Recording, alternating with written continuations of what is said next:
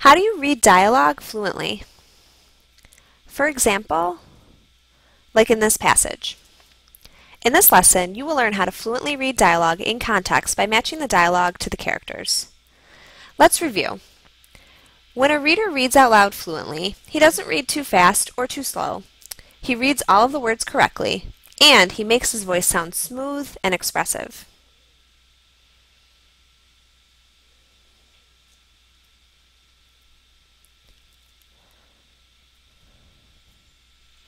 A common mistake is mixing up which character is talking. Often in books, when there's more than one character talking to one another in a conversation, authors don't repeat he said, she said over and over and over. Sometimes it can get tricky remembering which character is talking. Here's a passage from Dyamonde Daniel. Listen to me read it. But my last name is Freeman and my first name is Reed. What's wrong with that? When's the last time you met some kid named Reed, especially a black kid? People always say to me, Hey Reed, what are you reading? Or there goes Reed, reading again. Got it. That sounded really boring. I sounded like a robot. My voice didn't change at all when each character was speaking, which was confusing too. I didn't know who was saying what. I can read this passage with a lot more expression, and so that it's easier to understand who's speaking. First, I can notice who's speaking. I'll highlight the characters' names to help me remember. Then, I'll reread the dialogue and think about what each character is saying to try to identify who's speaking. I'll highlight the dialogue in different colors so I don't get confused. Then I'll think about what I know about each character. Is she old or young, nice or mean, happy or sad? And I'll reread the passage out loud, and when each character speaks, I'll match my voice to that character using what I know about him or her. Watch me do one. Okay, here's another passage from Dyamonde Daniel. First, I'm going to notice who's speaking. I see the quotation marks and I see the word said. Right after said, it says Dyamonde. That's one of the characters who's talking. I'll highlight her name in yellow. I also see Mrs. Cordell's name, so I know she's another character who's speaking.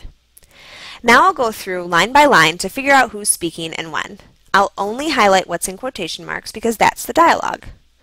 Mrs. Cordell said Dyamonde. Okay, so I'm going to first look at this first part that says just Mrs. Cordell. I know Dyamonde said that, so I'll highlight that in yellow. Then it says, yes, dear. Dyamonde wouldn't answer her own question, and she was talking to Mrs. Cordell, so I know that she must have said that, even though the text doesn't say, said Mrs. Cordell after it. I'll highlight it in blue. What's the matter with the new boy with Free? Well, I know it's Dyamonde's turn to talk since this is a conversation between her and Mrs. Cordell, so she must be saying this. So I'll highlight that part in yellow. What do you mean, sweetie? Well, it says Mrs. Cordell right after this, and the narrators explain that she always calls everyone sweetie, and this is in response to what Dyamonde said, so I know Mrs. Cordell said this. I'll highlight that in blue. How come he's mad all the time? Well, this is Dyamonde clarifying what she just asked about Free, so I'll highlight that in yellow. I don't know, Dyamonde. Why don't you ask him? Hmm. That is Mrs. Cordell's response. I'll highlight it in blue. Okay, so now my passage is highlighted and I can easily tell who's talking even though they're not labeled. Now I'll think about what I notice about each character. I'm going to jot my ideas down on sticky notes to help me remember. So first let's think about Dyamonde. I notice she's talking to her teacher and she's asking questions about her classmates. That tells me that she's thoughtful because she's wondering about her classmates. Then I notice Mrs. Cordell is using words like dear and sweetie, and she's talking to her student. I know Mrs. Cordell is an adult because it says Mrs., and I remember that she's Dyamonde's teacher. And I know that she cares a lot about her students because she uses words like dear and sweetie. Okay, so now I need to reread this passage and ma match my voice to the characters using what I know about them. I'm going to make my voice sound like each of them as I read. Mrs. Cordell, said Dyamonde. Yes, dear? What's the matter with the new boy? With Free. What do you mean, sweetie? Mrs. Cordell called everybody sweetie. How come he's mad all the time? I don't know, Dyamonde. Why don't you ask him?